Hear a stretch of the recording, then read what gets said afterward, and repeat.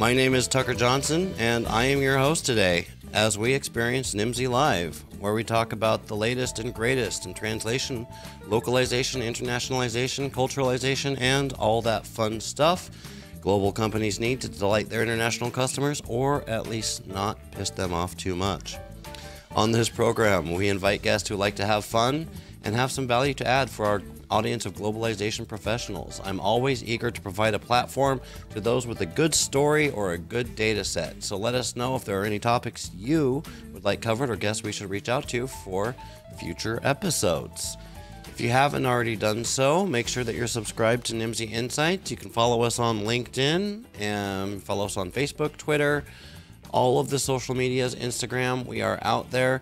And whatever platform you are watching us on today, if you hit that subscribe or follow button, then you are going to be one of the first to be notified when we publish new research or when we schedule new live streams like this. First of all, a little bit about the platform. We're doing this as a live stream on LinkedIn because that's where our audience is.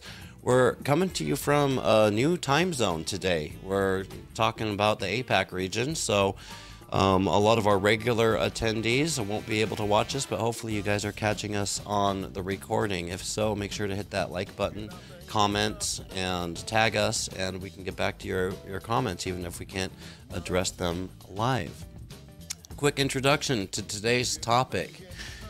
In China, localization is different. In today's episode, we are going to talk to Zhongjun Ge about the complexities of localizing in China. Some topics that we're going to be looking at include technology in China in the past for Chinese users only, technology in China now, born global. We're going to talk about what that means to be born global, key points to make better product localization, and the bright side of product localization in China about Zhang Zhang is a leading product localization. He is uh, leading the product localization team at ByteDance, and before that, he was Airbnb's first localization manager in China.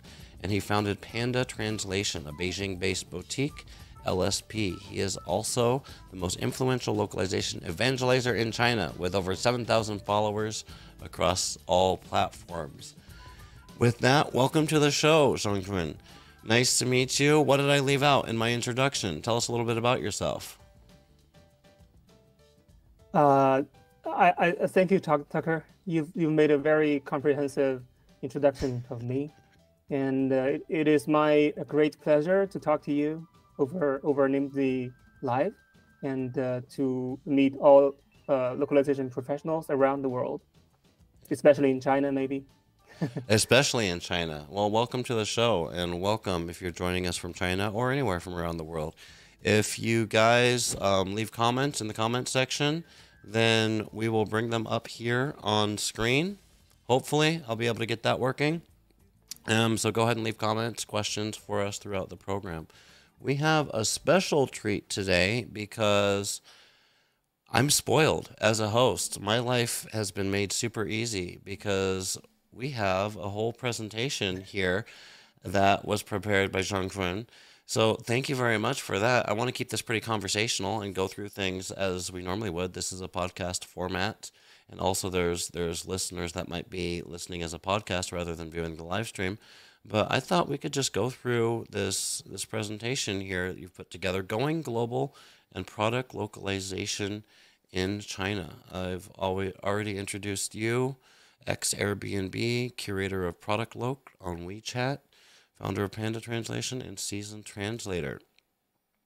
So today you wanted to go through, as I mentioned in the introduction, we're going to talk about technology in the past, what that means, um, how they've, how you, you guys have done that in the past at China. We're going to talk about what it means to be born global and how that's affecting the way Chinese companies approach product localization now um, talk about some key points for better product localization and the bright side of product localization in China. So, take it away here. Tech in China mm-hmm. in the past for Chinese users only. First of all, before we go into into the next conversation here, what does that mean for Chinese users only? What do you mean by that? Uh, you know, when I when I first uh, get got in contact with internet with the internet, I was it was around 1999. So basically, uh, it's almost the same time uh, as in the U.S. as in the world. So uh, you know, so that that means China tech companies rose from that time. So all the developments are like in at the in at, at the same pace as the mm. uh, overseas counterparts. But uh, uh, you know, China is a unique market, and uh, uh, they they they went through a different routes. Like um, for for Chinese companies, because China market is so big and with so many people, and uh, the internet pen, internet penetration uh, grew uh, so so much in the past 20 years. So uh, tech companies in China mostly are serving Chinese users only. Well, and uh, going going uh, going global was not a thing before. Because you didn't have to before to a few years ago. right? And and that's that's the thing yeah yeah you're right. Like I, I deal with this a little bit here in the us is a lot of americans we don't think internationally because we're a big country and we don't have to right where it's not like we're a european country where we have neighbors on all sides of us and if i get in my car and drive for an hour i'm in a different country yeah and China's like the U.S. on steroids. Yeah. Is it's such a big market that companies could make yeah. a really good living for themselves without having to worry about globalization, right? Yeah, but but uh, the maybe the the another big difference uh, between U.S. market and the Chinese China market is that uh, in the U.S. you have immigrants from all over the world. Fair. Yeah. So um, even if you are building uh, an app, building products for U.S. markets only, but uh, you have to take those users into consideration. But for China, you don't have to, because uh, like um, more than ninety percent people in China, of all people, all of all 1.4 billion uh, people in China, uh, are are are are Han yeah. ethnic group. Exactly. So you don't need to so worry. About So you don't have to worry about. Mm-hmm. Yeah. Mm-hmm. yeah. Well, I see. Let's let's go on here. You've got. You're mm-hmm. gonna put me on the spot here. Question for Tucker. Yeah, yeah, yeah. I got a question for you. All right. What's your question for me? Yeah, what are the top four tech companies in China, in okay. your opinion? So, full disclosure, I did see these slides before the presentation, but I I tried not to Google it here. So, I'm gonna guess Alibaba, Baidu, Tencent. I don't know because I'm not sure who owns what. Like WeChat, but WeChat's owned by Tencent. So, okay. Yeah, WeChat is from Tencent. Dang it! Dang it! So I got I, I, I can't think of a fourth one then. So let's see how I did here. Yeah, maybe. All right, yeah. I got Alibaba, we got Baidu, Tencent, and what is this? What is the what is uh, the last one I'm missing? Xiaomi. Xiaomi. Xiaomi smartphone. Oh, manufacturer. Okay. Yeah. Okay. Yeah. sh- sh- Surprising. I was surprised. Yeah. Actually, I was surprised by really? the by the BATX. Uh, yeah, I was but uh, surprised by that uh, uh, term mm-hmm. uh, because before that, before I preparing uh, pre- prepare, prepared for this uh, live, I didn't know that there is a term called BATX. that's but, but, but that's true. new to me. Enlighten me. What is BATX? Oh, that's the that's uh, Baidu. The... You can you can go back to the previous yeah. Baidu, Alibaba, Tencent, and uh, oh. Xiaomi X. Oh, now I can remember yeah. it since so, I got this nice little tool to remember it. Yeah. Yeah, and you can see that uh, most of them, like Baidu, Tencent, and Alibaba, they founded around the dot com bubble. Okay. So you say yeah. in the last 20 years, they defined the tech scene and everyone's life in China. And I, you know, I've worked with Chinese colleagues throughout the year and have a general yeah. understanding of what that looks like. But for folks, you know, for for my parents who might watch this, who know nothing about the tech scene in China, What does that look like? Mm. And because I don't think people fully grasp how pervasive technology is and how much um, how much control it ha- not control, but how how pervasive it is in everyday life. Yeah. Uh, I think the major difference uh, of scenes between uh, uh, China and other companies are like um, in China we have mega apps like uh, WeChat, like Mhm. uh, Alipay, the two two biggest mega app that I, I think Elon Musk uh, kind of envies He wants he wants that. He wants to yeah, turn Twitter into that. yeah, I think So so yeah, my he- he understanding incorporated, is uh, X group, X Corp. Yeah. Yeah, my my understanding is that in China is WeChat is everything. Like people use it for everything. Whereas Yeah. in the US we everything have almost. one app to call an Uber, we have a different app to text our friends, we have a different app to send money, we have a different app to buy stuff, we have a different app to make a reservation for a movie, Yeah, for social for social media, traveling. all of these different everything, yeah. things. And in China, everything's Yeah. just centralized so that people can like Mm. is it possible to even like what happens if you don't have access to your app if your phone dies like how do you get around You know, uh, in the past, people manage all their um, contacts on their phones, uh-huh. On their in- their phone contacts. But uh, since 2011, I think the day the, the year that uh, WeChat born was born, everyone's using WeChat as their contact management, and all their friends are on WeChat, and all their uh, friends and uh, business partners, clients are. so you got to have it it's not a nice to have you got to have it Yeah, yeah, yeah. I I heard that uh, uh, someone uh, who's running a, a small small business in China, Mhm. all their all of her uh, clients are in, on WeChat, Mm. and uh, all these clients came from WeChat oh wow or were, were connected via WeChat. It's yeah, like because you have CRM uh, CRM systems built on uh, WeChat. wow so WeChat WeChat is So- everything it's basically everything So yeah, yeah. If you want to get get to people, if you want to uh, connect with people, connect with uh, clients, and uh, connect with uh, uh, uh, potential clients like generation uh, leads leads generation, you you have to rely on WeChat.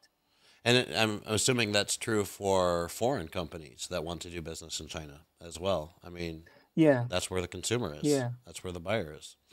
yeah, of course. Yeah, Talk to me about um, TMD, the new tech giants in China. Yeah. The T comes from comes from Toutiao, Okay. a product uh, built by ByteDance, and uh, M means Meituan, and D means Didi. So all these uh, three giants, we call it little giants, were born around 2010s. So uh, uh, like Mei- on Meituan, you can you can book, or you can buy, buy everything. You can get delivery, uh, uh, uh, food delivery. You can get tickets. You can buy whatever tickets, like travel, like flight, flight ticket, Huh. train ticket, boat ticket, everything. You can buy everything from uh, big malls or from restaurants and everything. And by using Didi, you can uh, go everywhere, go anywhere. Like uh, you can uh, travel within a city using the Uber-like services service, and you can also uh, go from one city to another using uh, like um, hitchhiker, hitchhiking oh, wow. service on it. So yeah, one thing I'm noticing And here is. with ByteDance, you you know, Oh, I'm sorry, sorry to interrupt. One, one thing I'm noticing here, and I think this is kind of the moral of the story that you're trying to tell us here, for China users only. So in the past, we've got um, BAT, BATX, uh, Baidu, Alibaba, Tencent, and Zhangzhong. Sorry, I can't pronounce things. Um, Xiaomi. Alipay, uh, Alibaba, Baidu. I'm not.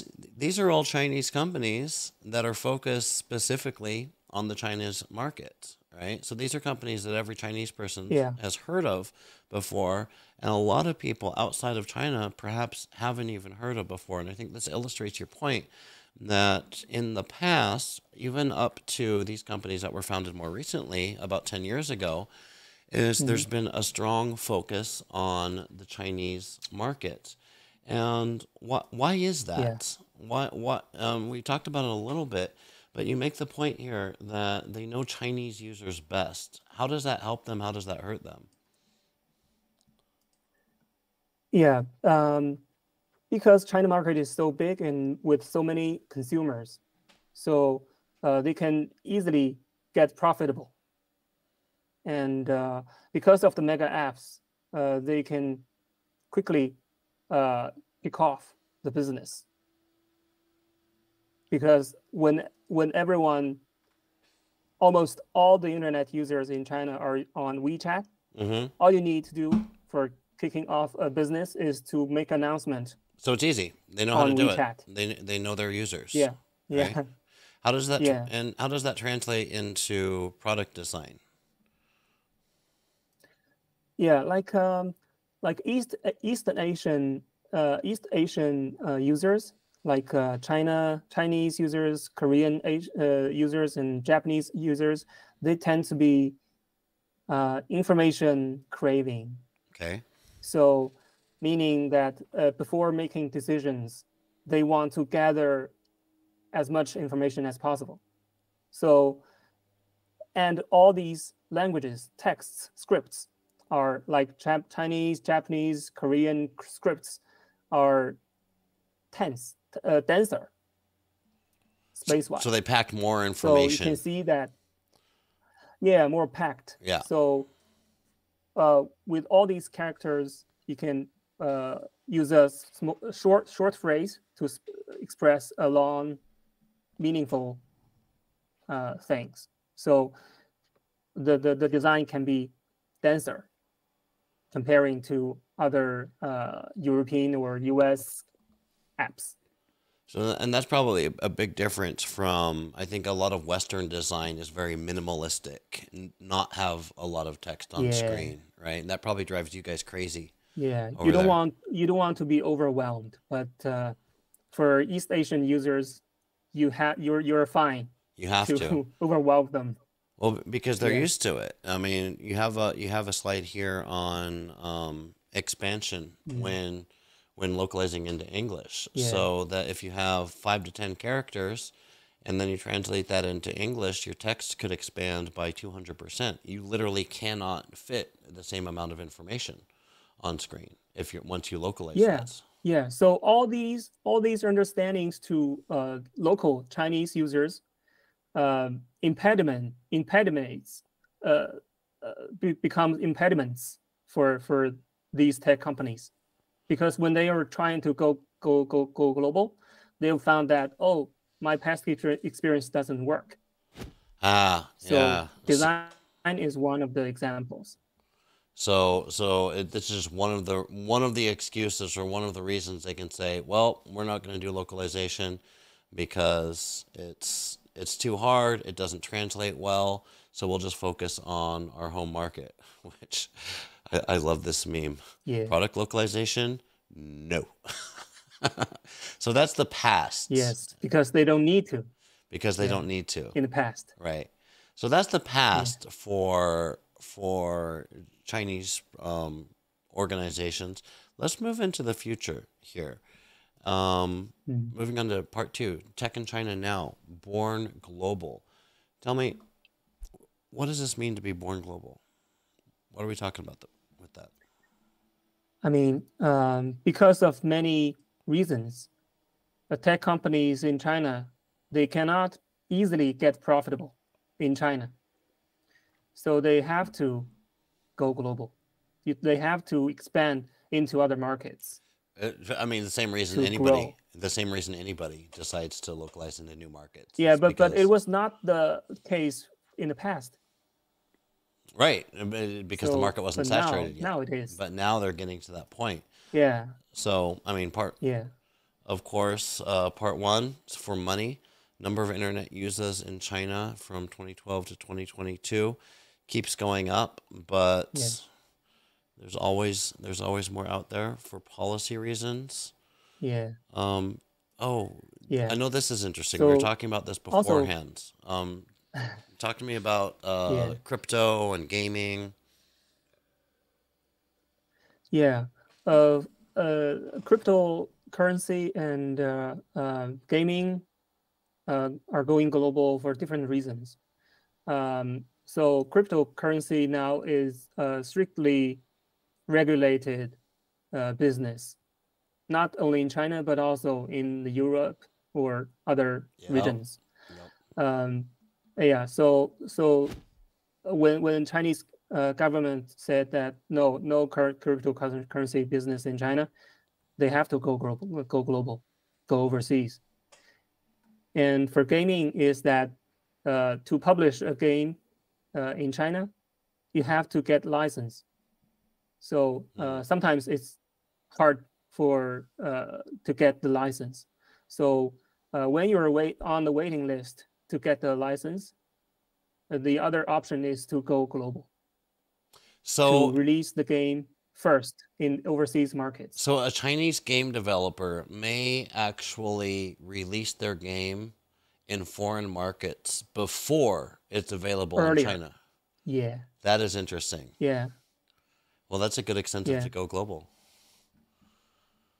So yeah, the- so these companies that and this is the new market and I, i've seen this too with you know not just chinese companies but i i think like companies like microsoft in the past and by past i mean 20 30 maybe 40 years i don't know how old microsoft is but a long time ago um, kind of went through this and i i used to talk about this more the difference between you know companies that were started you know started out as a domestic company and then they decided we need to go and service foreign markets and then companies that were hmm. more recent who started out as they were born global essentially. They started out as a global company.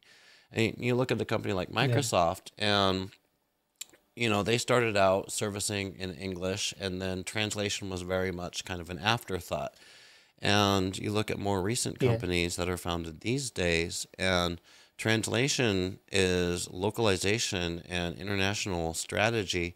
It is a prerequisite before they even get Yeah. started. I've worked with startups that you know as soon as Yeah. as soon as they're developing the English, they're simultaneously developing the the international versions as well, and it looks like this Yeah. is this is what's happening in China too, with some of these companies. Yeah. I, I I recognize Anker. I recognize how many TikTok. how many of them um do you do you know? Um, yeah, TikTok. Anker, one of them, TikTok, of you course, know any everyone knows? TikTok. Um, Shein. Yeah, I think I recognize Shein. What does Shein do? Shein is a uh, quick fashion, fast fashion, Okay, I, I recognize Shein because I get ads for them on kind Facebook. of part of H and M. Okay, all right, all right, all Yeah, right. yeah, I because I, know. get ads for them on Facebook. That's the only reason I recognize Shein. Um, but these others I don't recognize. So these are these are companies that DJI. Do you know DJI, DJI, DJI. No, what do they do? the drone company. No, I do now. Drones. I do now. Temu. Yeah, What is Timu? Temu. uh, Temu. Temu. Is the shopping marketplace. okay. And one. Yeah, it it, it invest, invested uh, many a lot of money on in Super Bowl Okay. a while ago. I didn't watch. Yeah. So that's probably. And. OnePlus is a, a smartphone manufacturer like Xiaomi, and Anker is a uh, is a charger. I know Anker. Power bank. Anker makes great products. I I love Anker. yeah, yeah, I Anker chargers. That's like all I buy anymore. yeah, So these these guys Yeah. are born like all these. Yeah, all these brands and products, they uh, the the they went global at their uh, right after their uh, foundation Right. or uh, going global market was one of their uh, was their major goal, I'd say, when when they founded. So all these companies, uh, so I say they are born global. So they take care of uh, all these uh, localization elements uh, in their From in, day one. in, the early early stage. Yeah. Yeah, from day one. And it makes and it makes Uh, but, but your job a course, lot they- easier. They, they, yeah, I, yeah, yeah. So, so many people in China, including these uh, brands, uh, they they regard local product localization as translation only, hmm translating hmm uh, texts from English to other languages, or even from Chinese directly into other languages. But uh, yeah, uh, a while uh, later, they learned the lesson. Yeah, that's the thing is uh, sooner or later you're going to learn that lesson. You can either learn it the easy way, Yeah. which is by learning from the people that came before you and the mistakes other past companies have made, or you can learn it the hard way, Yeah. which is you end up making those mistakes and it costs more money to fix them than than if you had just done it right the first Yes. time. Yeah. So let's let's talk about uh, better product localization. Um, key points to make better product localization, and I think a lot of these are some universal truths throughout product localization. But I'd love to get Yeah. your perspective from the Chinese Yeah. product localization standpoint. Um, Mm-mm. one, awareness of product localization within the org. Oh, you- you're preaching my language here. See, this this transcends borders because this is something that is useful. I don't care if you're in China or if you're in Africa or Europe, wherever you are. Awareness Yeah. of product Even. European or uh, U.S. companies. exactly. It's also the truth. And we work with a lot of companies here at Nimdzi. I'm going to say a lot, but you know, we work with companies here at Nimdzi. Yeah. They're clients of ours, and you know, when we're a consulting company, we help people. We advise on. We, we do a lot, but one of the things we do is advise them Yeah. on their um, how to mature their localization programs. And one of in, Yeah. part of that, we go through and we understand what are the pain points, like what are the challenges that they're facing, and one of the like universal challenges that localization departments face in their organizations is that there's no awareness of localization internally. People don't understand, Yeah. people within the organization, they don't understand what localization is. They don't recognize it as a revenue driver. They just think it's a cost driver. And so, localization exactly. departments, we spend a lot of time justifying our own existence. Persuading or convincing Right. people. Right.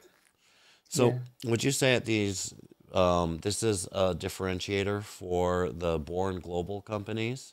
You know, companies like like TikTok, for example. Um, Yeah, I I think uh, I think I think uh, uh, we don't we can put put the uh, cost center or revenue center apart aside, and but uh, the basic uh, idea of what localization is is needs to be educated all the time. Yeah. And how, how have Yeah. you seen, do you have any interesting stories? How have you seen, what are some effective strategies for doing that? Because it's one thing to say localization managers need to educate their stakeholders, they need to evangelize localization internally. What are some concrete strategies that you've found are effective when you're faced with that situation? Mm, because I worked at Airbnb um, China as the first localization manager. Mhm. So uh, my experience is that uh, when you uh, first uh, the localization department in Chinese tech companies is a rare case. So not so many uh, tech companies in China has an independent localization lo- localization department. Most probably they will have a have someone in charge of localization.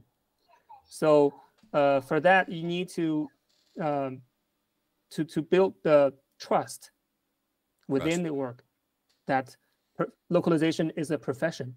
Mhm. Localization is not an easy job. So you need to uh, make a make a case, make make even make take make make cases Yep. to let people believe that product localization needs one more than one person. And I think that that word trust is probably universal, no matter what company you're working at. I, I, however, I think the path to trust can look different in different companies. Some companies are very data driven. Yeah. And so, in order to build Yeah. trust, it means putting together a good business case, showing them the data, um, tracking the, the ROI, the return on investment of localization. Right? These are these are what some companies Yeah. need to see. In in other companies, I think trust is um, you can get to trust through basically kind of the old fashioned way, just relationship building. It's all about relationships. Um, Ah, yeah. the company culture at some organizations is very relationship driven. And so, what that looks Yeah. like is holding um, information sessions with different organizations.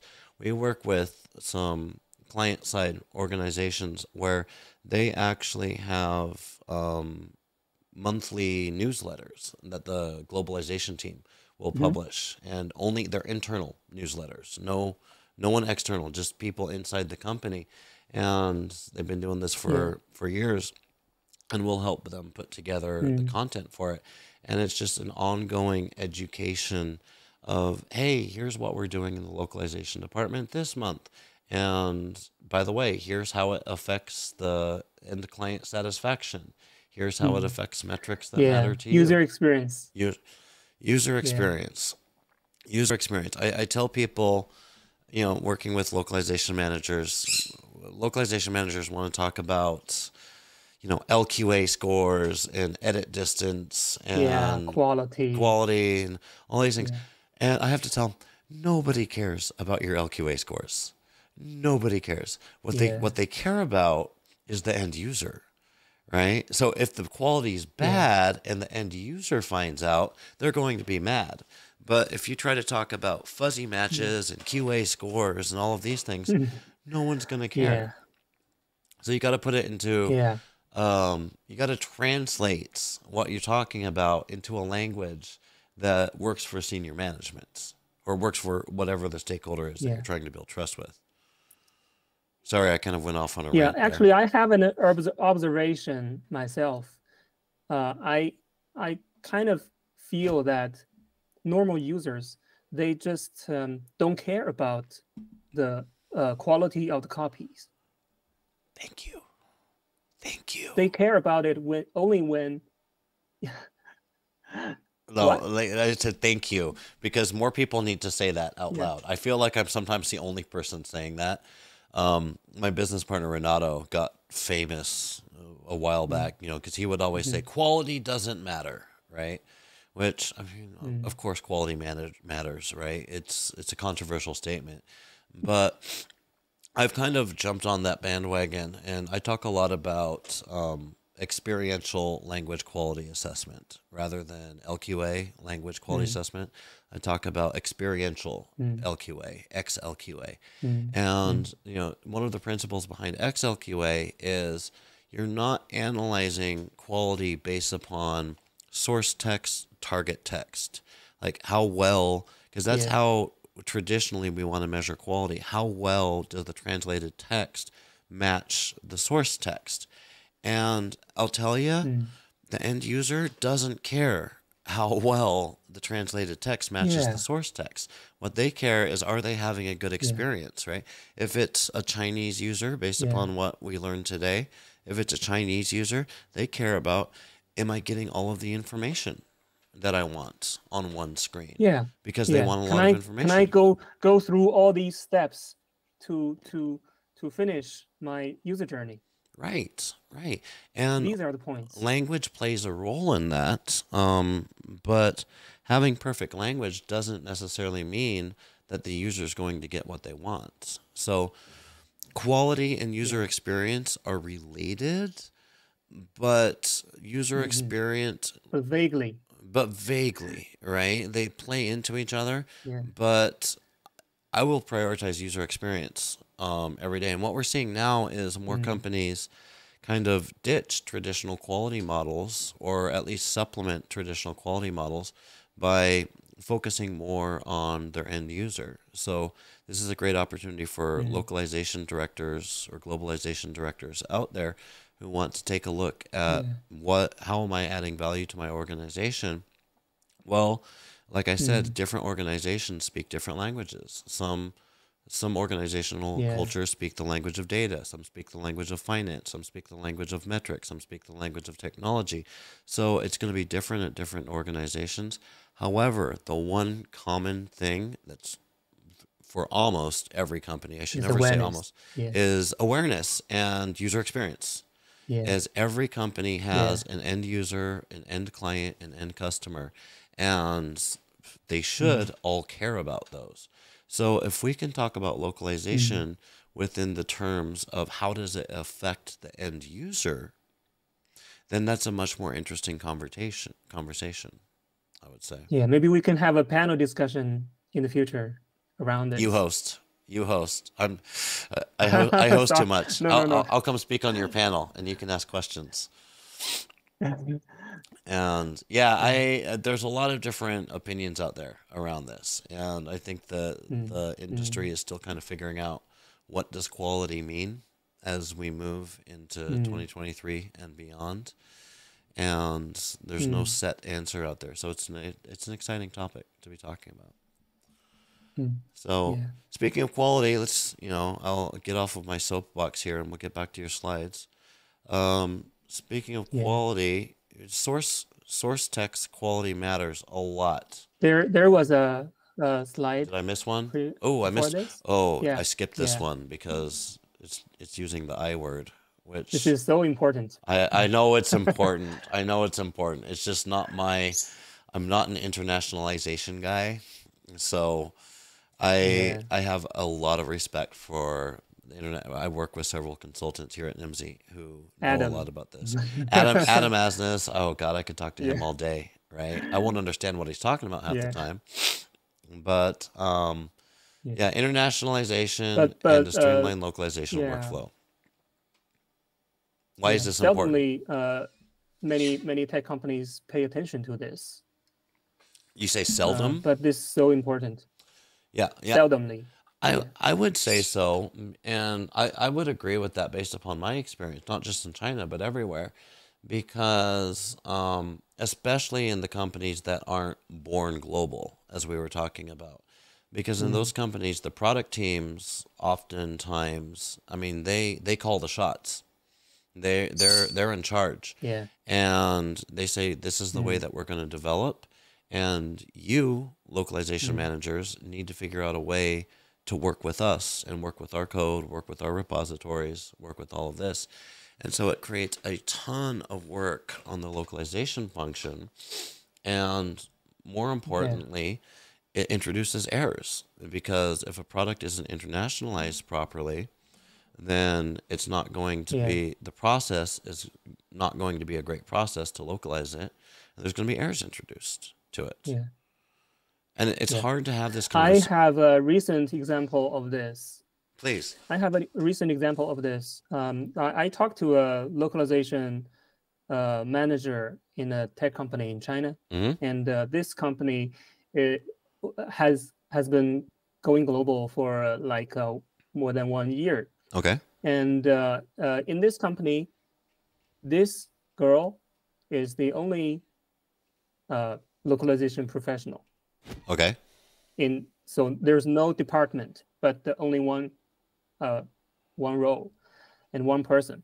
And uh, the copy was uh, produced by the designer. Okay. Uh, yeah and and most in most cases uh, uh, the the the source copies are produced in, in china tech companies.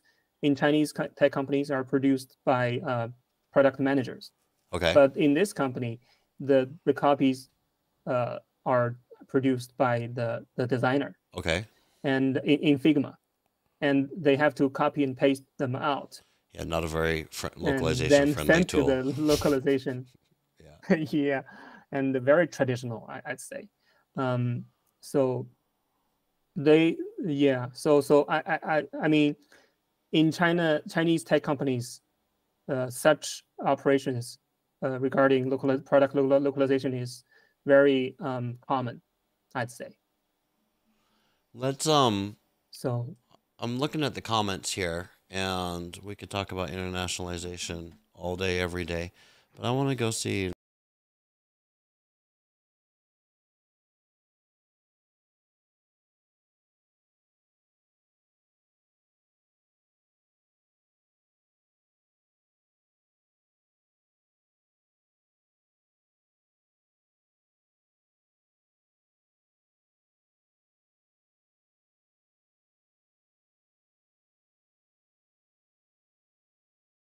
my my partner Renato did. He says translation is like toilet paper.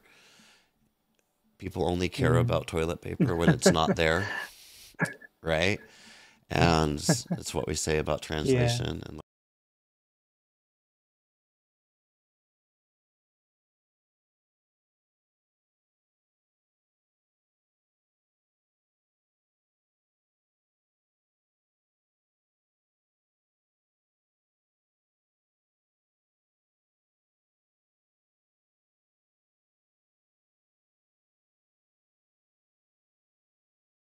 this is a really good point, and this is why I need to be careful when I'm saying things like, "Oh, quality doesn't matter," right? But once again, Daniel, what Mhm. you're talking about Mhm. here is fundamentally it's user experience, right? So it's the overlap Yes. that we were talking Yes. about between translation quality and user experience.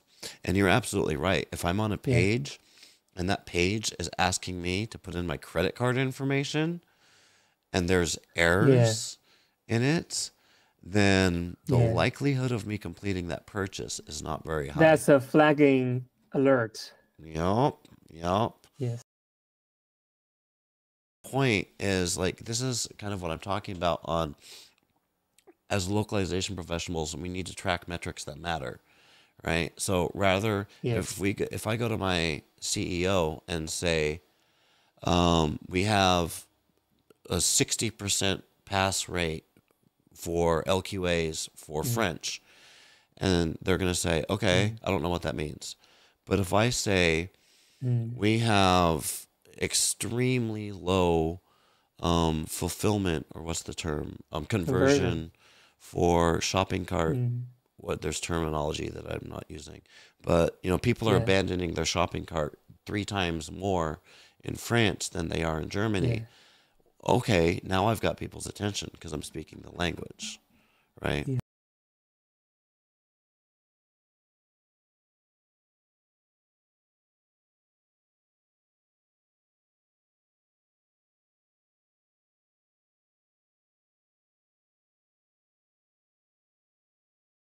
I yeah, that's a whole different panel discussion. You can schedule that panel discussion too. Yeah.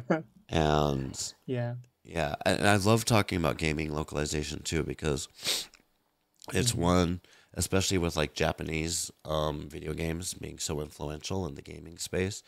It's one of the mm-hmm. markets where you can actually have really good conversations about, from an English speaker mm-hmm. perspective, um, about what poor localization quality is, because us English speakers are sometimes spoiled because everything, not everything, but a lot is created in English. But with video games, you have developers in other countries too. So we can experience firsthand what it's like to have poor localization. Cool. Hi, Michael from Chicago. Good to see you. I think we got through all the comments there. yes. All All right. from Chicago. Yeah. Th- that was me um, avoiding further conversation about internationalization. We can talk about internationalization issues all day. It's one of the top Okay. 10 Yeah. top 10 concerns that people are having. We just put together a list of top 10 concerns and it's definitely on the top 10. You Yeah. can see from the client side. Mm. Let's talk about source text quality matters a lot. Yes. I mean, I, I That's don't, especially true for Chinese. Yeah, I don't think this is a controversial statement. I'm like, yep, I agree. We can move on. But so tell me, Yeah. tell me from the Chinese perspective what this means. Uh, yeah, you know, uh, English language or other European languages, uh, they are more logical than uh, Chinese Not as contextual. or than uh, East East Asian languages. Yeah. So, uh, so you know the ChatGPT th- or GPT, they have a, it has a idea concept of chain of thoughts.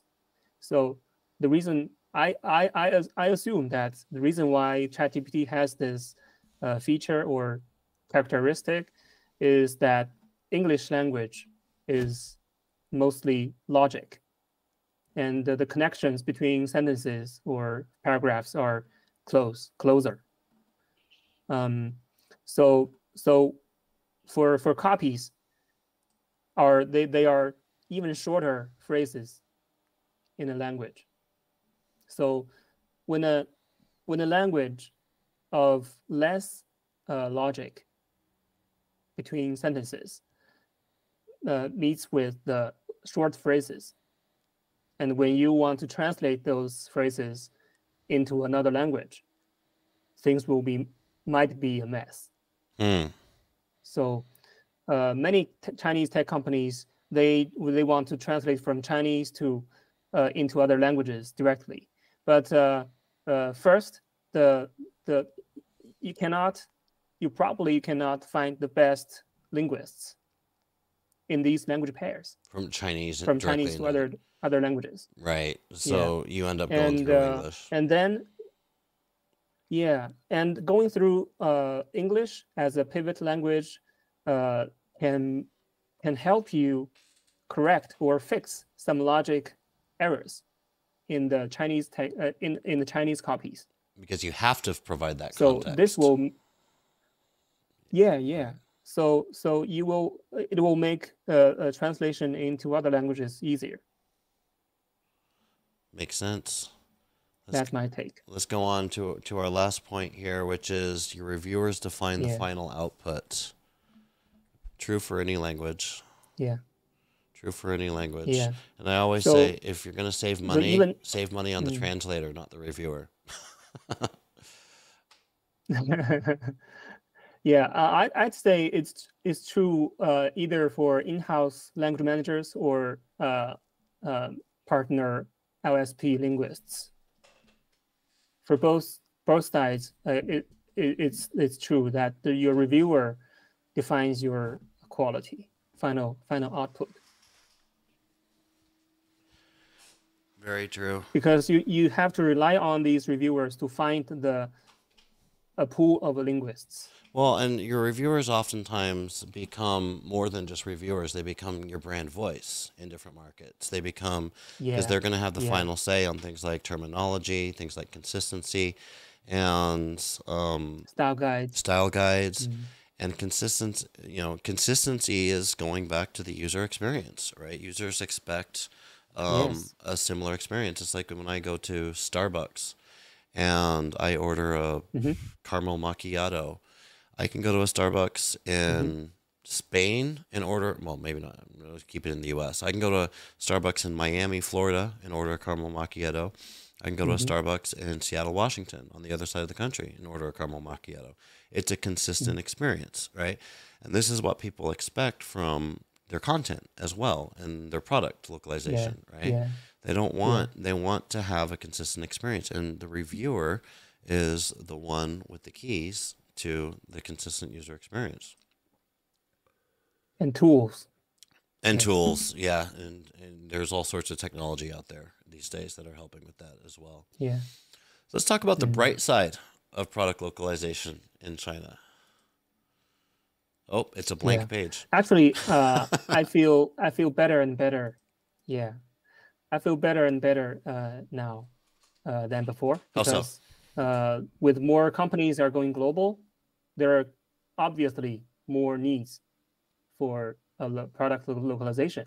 Job security. And uh, with all these successful brands overseas, so localization awareness of localization is greatly uh, boosted.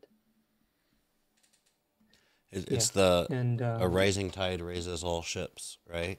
The more that we can boost localization yeah. in one country, one market, one company, the more we're a very competitive industry with the, ourselves, right? And I know this because I talk yes. to you know part of my job at Nimdzi is we're talking to um, client side localization directors all over the world, right? And the one yeah. thing that they all want to know is how how are they doing it at my competitors? How are they doing it at this, these other companies, right? Yeah. And this is why we do a lot of research into that. We have a whole series uh, called Lessons in Localization, where we we publish mm. briefings mm-hmm. on um, how different companies do localization, right? So they um, yeah. we learn from each other, and it's not because we're being sneaky, but it's because we love learning from each other, right? So more needs, mm-hmm. more awareness, more talents. We have local lunch now. Do you have a local lunch now? Yeah, we we we had uh, we had local lunch in Beijing uh, with the help of Marcello. Nice. Uh, uh, yeah, and in in the past, but uh, when after he left China, uh, there there was a, a gap Vacuum. before, but now we have a we have Nick as the localization Loc Lunch ambassador in Beijing. Very cool. Uh, so uh, yeah, yeah, yeah. The next Loc Lunch will happen in ten days. Nice. Yeah, local lunch is a great program, and we have one here in Seattle. Mm. I think Andre Cubero um, and Sako Eaton here in Seattle. They they are organizing the local lunches these days here in Seattle and it's a great hmm. program. Mm. Plug for Local Lunch. I'm not on their payroll, but if you're listening and you're not you're not aware of Local Lunch, find a chapter next to you. But it's really just one yeah. of the community building tools that we have available in our industry. You know, this is a yeah. people driven yeah. industry. Now I think we have something. Yeah. Yeah, we, we have Local Lunch, we have Gala, we have LocWorld, we have TAUS. I'm not sure if they're still doing events. We have Global Sake. I was just talking to Talia, emailing her. Um, we have now. I got to keep going because people are gonna be mad if I don't mention them. Yes.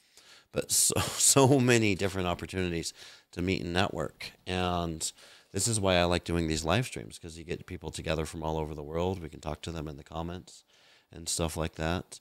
And now that the the pandemic is over, yeah. we actually yes. get to meet each other again, and it's lovely. So, well, I think yes. that brings us to yes. the end of that's that's very happy thing. Yeah, th- thank you so mm-hmm. much. Like I said, you make my job as a host very easy by providing this wonderful um, organized presentation for us to go through. If if only all of my guests were so accommodating. I'd probably yeah. still have some. I'm too excited to join you. Any any um and, yeah. but we are kind of running out of time here. Any closing thoughts as we start wrapping mm-hmm. up? Um I think I think Chinese tech companies or Chinese uh, product localization uh, professional needs to learn from uh, overseas companies um, a lot, and uh, I think we can uh, communicate more in the future and uh, learn from each other more uh, to about the best practices and lessons learned. Um, I think Nimdzi is a is, is is one of the best partners that we we have in the industry globally. So uh, maybe in the future we can talk more about it. We're doing what we can. And, uh, chat. We're doing what yeah. we can. And Michael, Michael yeah. from Chicago mentioned some women in localization. I don't know how I forgot about women in localization, but that's another good organization out there as well. Yes, yes. Right. Yeah. So mm. here, here, I I appreciate those closing thoughts mm. very much. Um, I'm gonna start wrapping us up here, uh, ladies, gentlemen. Thank you very much. We are out of time today. If you've enjoyed this episode of Nimdzi Live, then join us tomorrow. Tomorrow morning, uh, West Coast time, we are going to be talking with Jonas Ryberg and Wei Zhang from Scientific. And it's a really interesting topic. I'm really excited to talk to them about it because we're talking about more with less. I know you've heard this more with less before, but um, right now, with the economy, economic downturns, all the chaos going on, we have some really interesting perspectives on how localization managers are able to do more with less, i.e., more localization, less budgets. If that sounds like a challenge that you've had, then join us tomorrow morning live here if you're not already signed up. Once again, and finally, my name is Tucker Johnson, host of Nimdzi Live. It has been my pleasure to join you all today. I appreciate our guest, Zhongjun, um, for sharing his insights you, with us. Tucker. Thank you very much.